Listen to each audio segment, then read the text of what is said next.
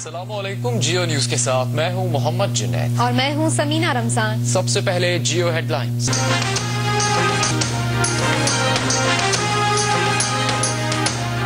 وطن سے غداری نہیں کی واپس بھی آ رہا ہوں۔ الزامات کا سامنا بھی کروں گا۔ سابق انڈس واٹر کمشنر جماعت علی شاہ کا جیو نیوز کو خصوصی انٹرویو۔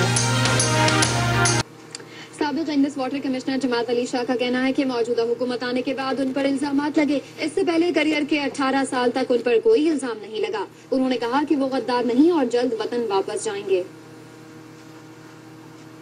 کینیڈا میں جیو نیوز سے گفتگو کرتے ہوئے سابق انڈس واٹر کمشنر جماعت علی شاہ نے کہا کہ جب موجودہ حکومت آئی تو اس وقت بھارت کے ساتھ کشن گنگا ڈیم پر تنازع چل رہا تھا۔ یہ اپنے لوگ لانا چاہتے تھے اور اپنے لوگوں کو لگانے کے لیے انہیں ہٹایا گیا۔ موجودہ گورنمنٹ آئی تو اس وقت ایک کشن گنگا کا پروجیکٹ کا منصوبہ جو تھا انڈیا کے ساتھ ہماری ڈسپیوٹ جو تقریباً ہم نے اس پہ جانا تھا، تو اس پر جو کچھ نئے لوگ گورنمنٹ نے اپائنٹ کیے تھے، تو ان کا یہ خیال تھا کہ جو بغلی آر کیس پر ہمارے لائر چل رہے تھے یو کے سے، تو وہ کامیاب نہیں ہوئے تھے۔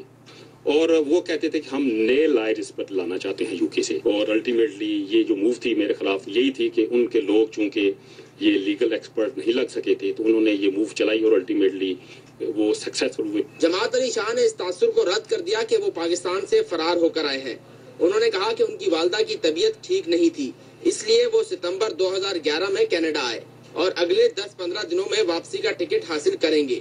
ملک ضرور جائیں گے۔ یہ جو الزامات ہیں یا اس طرح کی چیزیں ہیں ایٹ اینی فورم میں اپنے آپ کو ڈیفینڈ کرنے کو تیار ہوں۔ اب اٹھارہ سال میری کارکردگی ٹھیک ہے۔